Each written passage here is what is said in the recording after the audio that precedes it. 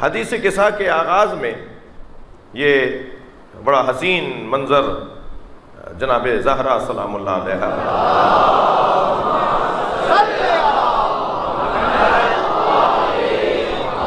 आपके जहन आली में रहे कि हदीस किसा वाहिद हदीस है, जो अल्लाह का कलाम भी है, रसूलुल्लाह का कलाम भी है।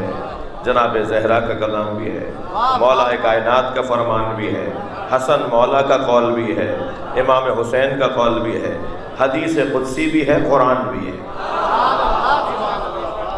हदीस किसा का जो हुस्न है हदीसों में, और सनत के बारे में मैं इस वक्त बात नहीं करूँगा, और सिर्फ़ इतना कह के तसल्ली दूँगा, इल्म दोस्त लोगों को जो सनत के ऊपर बात करते हैं, कि शेख अब्बास कौमी रहमत अलैह अगर इसे अपनी किताब के अंदर लिख दें तो ये सनत के एतबार से काफ़ी है। सरकार ने आकर कहा, बीवी फरमाती हैं कि मेरे बाबा तशरीफ़ लाए और कहा कि या फातिमा इन यजदोफ़ी बदनी रोफ़ा मैं अपने बदन में ज़ाफ़ महसूस कर रहा हूँ। ईतीनी बिल के साहिल यमनी। मुझे यमनी चादर ला के दे दो। अब ये यमनी चादर यमनी चादर ही क्यों? देखिए, किसी के शहर की चादर भी अगर नबी ने ओढ़ ली हो तो वो उस शहर की इज़्ज़त में इजाफे का सबब है। है ना आज चौदह सौ साल के बाद हम हर जुमेरात को यमनी चादर का ज़िक्र सुनते हैं। सरकार अगर यमन की चादर ओढ़ ले तो वो मोतबर सरकार अगर कोई टाट की चादर ओढ़ ले तो वो मोतबर तो नबी से जो मंसूब हो जाए, हम तो उसका एहतराम करते हैं ना। ये तो मक्का है जहाँ मीठा पानी भी नहीं है। मगर अल्लाह कह रहा है, जी लाख से मोबहात अलबलत मुझे कसम है इस शहर की, जिस शहर में मीठा पानी भी नहीं है जिस शहर के अंदर कोई घास, फूस, फूल, पौधे, दरख्त भी नहीं है, जिसकी आबो हवा भी अच्छी नहीं है। मगर अल्लाह कह रहा है, मुझे इससे गरज नहीं है कि इसकी आबो हवा कैसी है। मुझे तो इससे गरज है कि अंता हिल्लुम बेहातल बलद। तुम यहाँ रहते हो तो ये शहर मुझे अच्छा लगता है। जिस शहर में नबी रहते हो, वो शहर अल्लाह को अच्छा लगता है। फरमाए तीनी बिल के सायल यमानी। मुझे चादर यमनी ला के दे दो। बीवी फरमाती हैं कि फ़तीनी बे फ़ात तो हो बिल बिल फ़ात तो हो बिल किसाइल यमानी मैं लाई वो किसा यमनी लाई और फ़त तो हूँ बे मैंने आपके ऊपर डाल दी खुद फरमाया मैंने डाल दी नबी ने नहीं ली है बीबी ने डाली है फ़त तो हूँ बे मैंने आपको ढांप दिया उस चादर से सैदा के अल्फाज वह फिर तो ले और फ़ौर मैंने उसे डालकर जब आपकी तरफ़ देखा तो क्या नज़र आया? वह इदन वज हो यतला हो कान बदरोफ़ी लते तमाम ही व कमा है तो जैसे मेरी निगाह गई ना, चादर जैसे ही डाली मैंने तो जो चादर डाल के एक एक मरतबा मैंने जब दोबारा उस तरफ़ देखा तो कान बदरोफ़ी इदा वज हो उसका चेहरा, अब ये वज हो की ज़मीर किस तरफ़ है? नबी की तरफ़ है? नहीं। यही मैं बताने के लिए अपने बच्चों और जवानों को मैंने हदीसी के साथ खोल के आपको सुनाई है।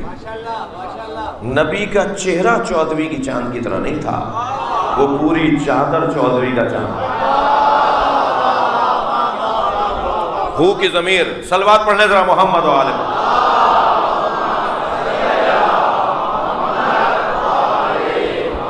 इसलिए कि बीवी फरमा रही है मैंने जब डाल दी चादर फिर चादर की तरफ़ देखा तो चादर की तरफ़ जब देख, मैंने देखा, वह सिर तो अंदर इलेह इलेह का इशारा चादर की तरफ़ है। क्योंकि नबी का तो चेहरा छुप गया। ये नबी के चेहरे की बात सैयदा नहीं फरमा रही। उस पूरी चादर का जो चेहरा था,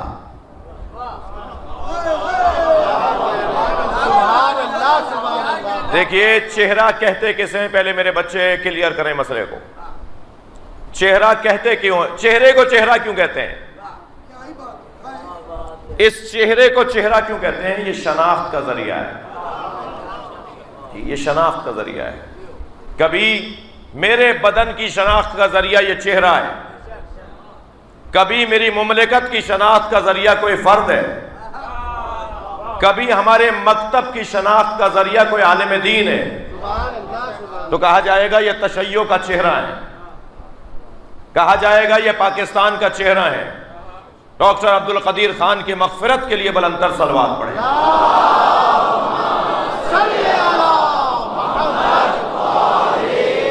इससे बेहतर और बुलंद सलवार पड़े।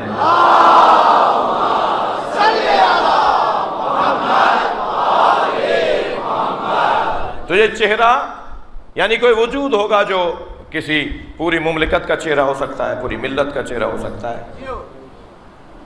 मौला अली जो वजहुल्ला है। जी, अली वजहुल्ला मौला अली जो वजहुल्ला है तो इसका क्या मतलब है? इसका मतलब ये है कि अली के ज़रिए अल्लाह समझ में आएगा।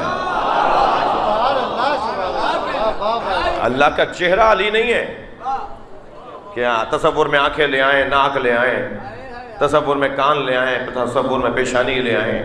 तुम अल्लाह मानने गए थे? किसी शिरक की तरफ़ चले गए। ये ये वाला चेहरा नहीं है, शनाख्त। यानी अगर कोई चाहता है कि अल्लाह को पहचाने तो अली को देखे। और ख़ुद मौला फरमाते हैं, अलमुतजल्ली ही बेखल्क।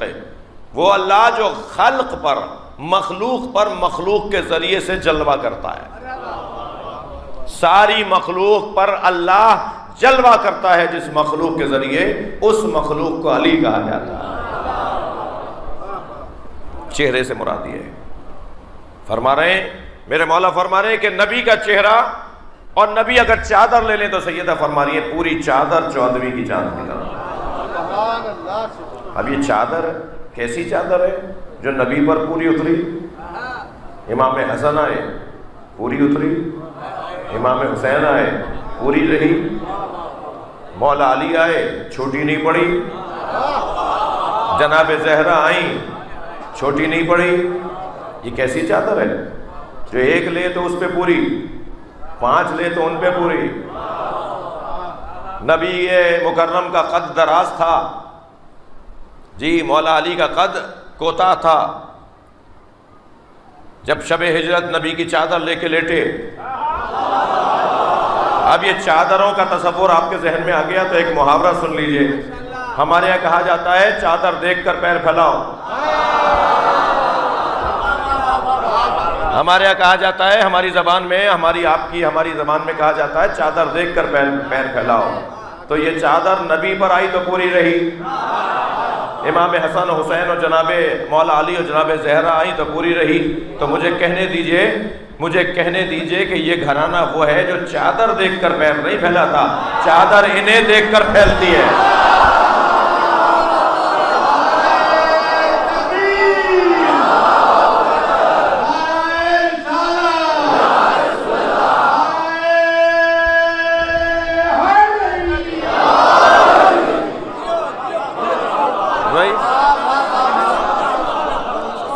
जैसे जैसे बढ़ते जाएँगे, चादर बढ़ती जाएगी।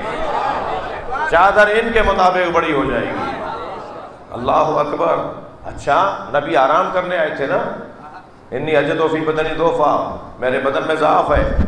मुझे चादर यमनी ला के दे दो। तो बीवी इमाम हसन से फरमाती ना कि बेटा, नाना आराम कर रहे हैं। पूछा, नाना की खुशबू आ रही है? फरमाए चादर के नीचे है। इमाम हुसैन आए तो बीवी रोक लेती ना, बेटा नाना आराम कर रहे हैं। फरमाया, नहीं, तुम्हारे नाना तुम्हारे भाई के साथ चादर में है। इमाम हुसैन भी आ गए। मौला अली आए, फरमाती, या अली, नबी आराम कर रहे हैं। मगर फरमाया, तुम्हारे बेटों के साथ चादर में है। फ़र्ज़ मोहाल फ़र्ज़ कर रहे हैं। बीबी को खुद को तो पता था। खुद भी फरमा रही है, मैं चादर में आ जाऊँ। नबी आराम करने आए ना, सोने दें, आराम करने दें। अजीब दास्तान है। अजब नहीं आवाज़ आए कि ये जब जमा हो जाएँगे, तभी तो जाफ दूर होगा।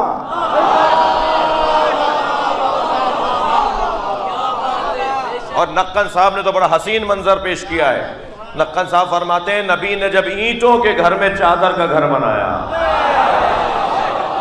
तो ईंटों वाले घर वाले और थे, चादर वाले और। सलवात पढ़े मोहम्मद वाले मोहम्मद।